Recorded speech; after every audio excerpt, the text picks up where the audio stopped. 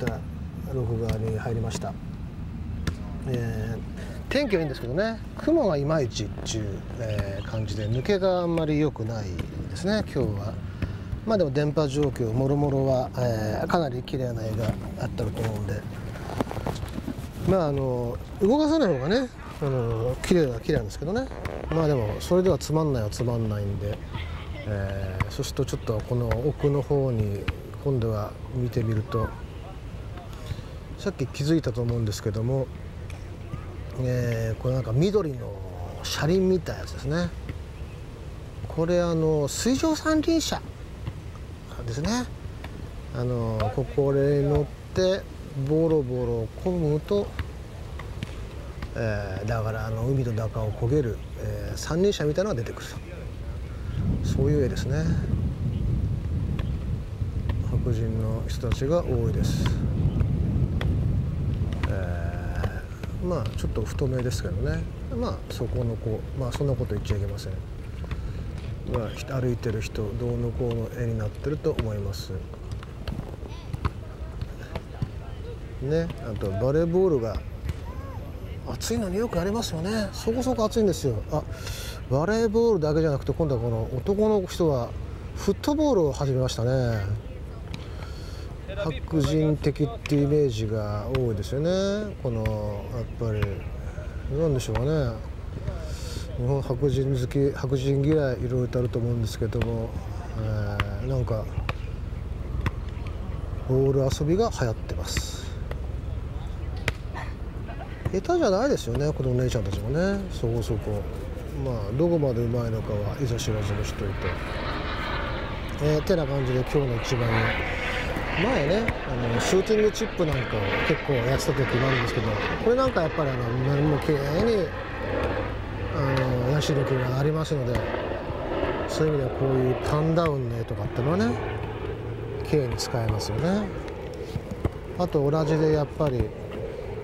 ここもやっぱりあの横パンですね。そこそこ綺麗にあのまあこれもヤシの木がフレームできるんでこれをゆっくりいくとまあこういう横パンの絵も作れる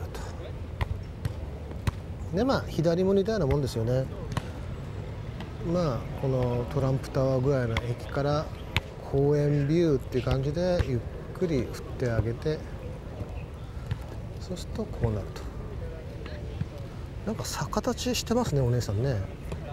だからそういう種類の人なんでしょうかね。まあ確かに下手くそには見えないですけどね。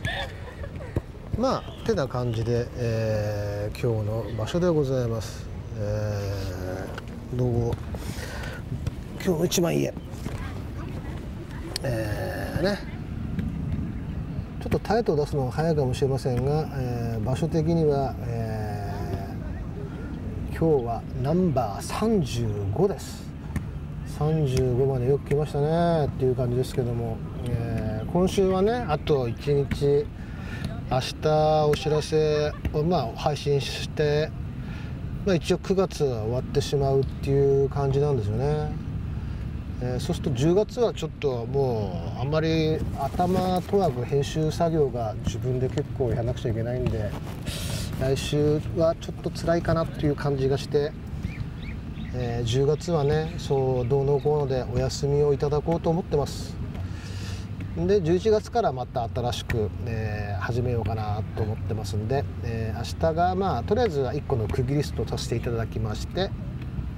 えー、ちょっとあまあ秋休みですか？に入るっていう感じですね、え、今日の35枚目の絵は、えー、ナンバー35フォートデルシービーチパークです。あとワイキキですね、えー、フォートデルシーっていうのは、まあ、さっき見せたここのあの何ですか。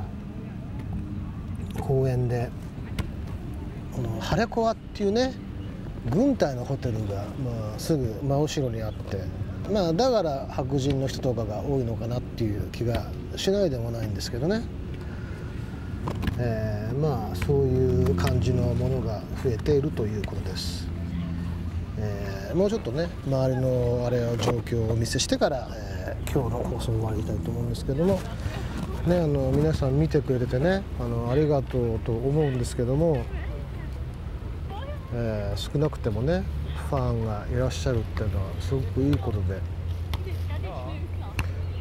なかなか嬉しいことだと思います。ね、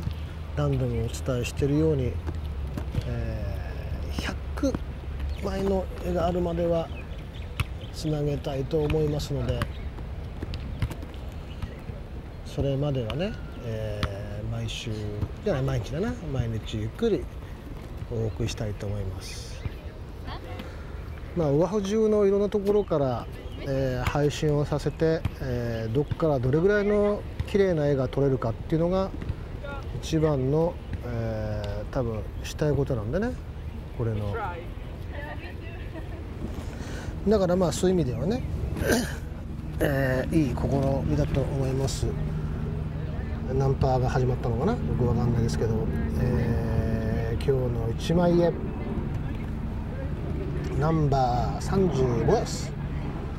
フォートデルシービーチパーク。アットワイキキ。